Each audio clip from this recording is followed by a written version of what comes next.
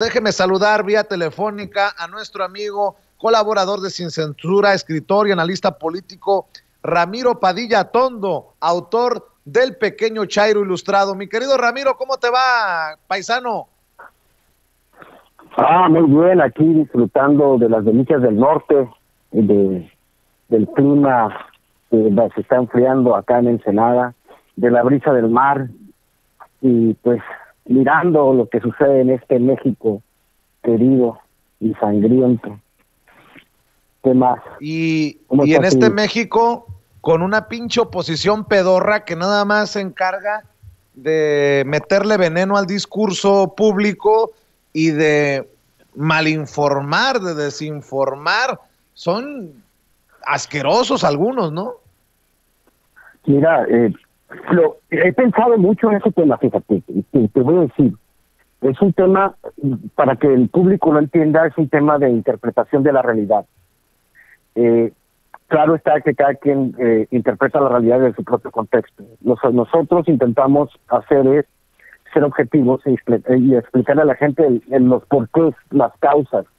Lo hemos dicho en otras ocasiones, el presidente es la persona mejor informada del país, aunque de repente sí haya personas que, eh, usan su nombre con, para otras cosas, ¿no? Pero, pero cuando hablamos de la realidad y la interpretación de la realidad, sabemos que hay quienes interpretan la realidad de manera objetiva y hay quienes tienen una manera muy pobre de interpretar la realidad.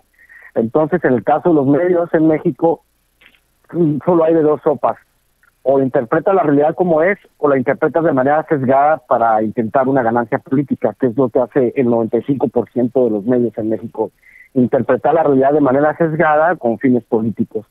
Entonces, cuando tú tienes una interpretación de la realidad tan pobre, tan jodida, y, y, utilizas ese sesgo para, para malinformar, eh, surgen situaciones como las que tenemos eh, hoy en día en México. Gente mal informada que piensa que las personas que les están mintiendo le están diciendo la verdad. Y viene este asunto del, sesgo cognitivo, que uno interpreta eh, la realidad pues con elementos que son bastante pobres.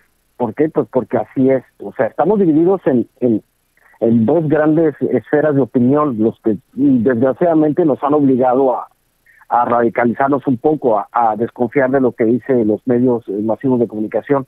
Y están los medios de comunicación que con todo, o con todo el poder que, o la influencia de, la que gozan, intentan manipular la, la opinión pública para, para generar una inestabilidad, o sea, hacen algo muy peligroso. Tú lo sabes, con este asunto de la pandemia, eh, con el asunto de la crisis eh, de violencia que tenemos, eh, los medios, en vez de, de ayudar a informar de manera objetiva, se la pasan pegando por, por, por intentar implantar una agenda de, de que el gobierno federal no puede cuando hemos heredamos una situación de 80 años de terrible. Este, te digo, lo, los leo y, me sorprende muchísimo que, que haya gente tan pendeja que les crea a los Loret, al Ciro, a lo que hizo Carlos Marín ahora con, con la querida Juncal, ¿no? De, de agredirla, lo que ha hecho Alfaro con Juncal, de agredirla simplemente porque es una muchachita que se le salta a la palestra y,